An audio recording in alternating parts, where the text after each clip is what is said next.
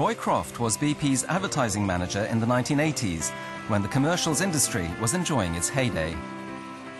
I joined BP in 1969, recruited as an advertising specialist, and I worked on for 25 years, retiring in, in 94, uh, and in, always in the advertising field and ending up as advertising manager.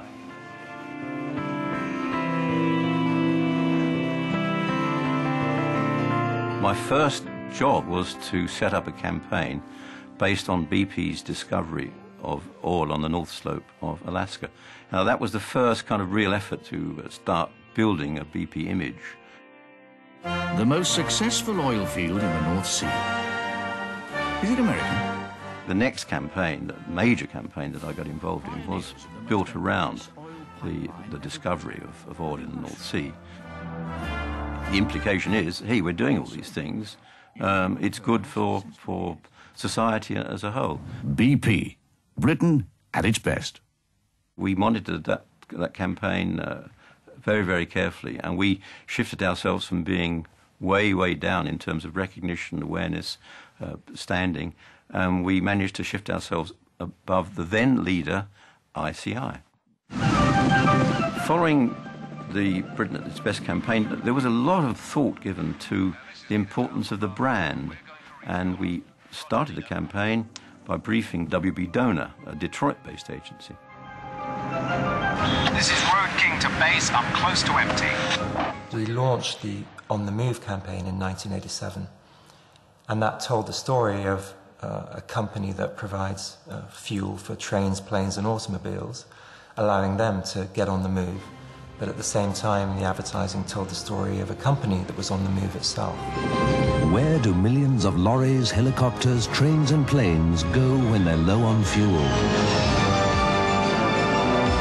The same place you do. BP. We briefed WB Doner to follow up the mission campaign with a really good commercial. And they came up with a commercial called Elevator. Fourth floor aviation fuel research. I think the creative people were very much influenced by the big feature films. No coincidence, the company we, that was chosen to produce Elevator, George Lucas, Star Wars. On the Move started before the re-imaging of BP. And the, the commercial that did that or and launched that was one called Task Force. Bay door opening. And that was shot in Bonneville Salt Factory. We built a service station. And that was directed by quite a well-known director, Hugh Hudson. We had this C-130 plane that that came in and it skimmed the top of the service station by a couple of meters. You had to be quite brave to stand and watch this thing coming in.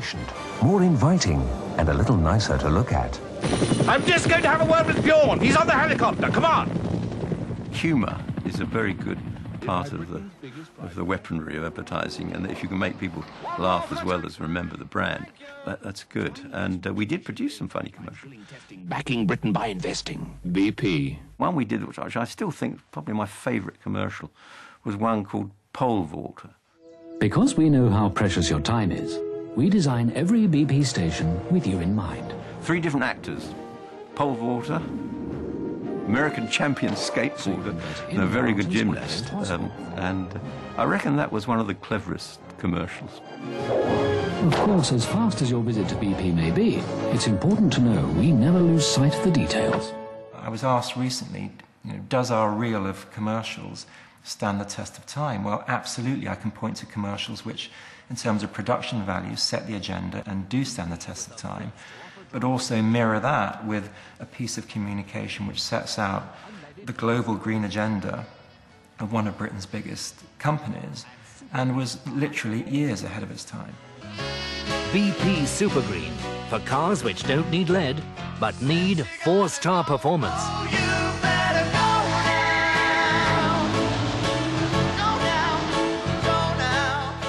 I think it was uh, a privilege to be allowed to do what I thought was right. And, and I think the global brand, the building of the brand by these techniques, I'm very proud of that.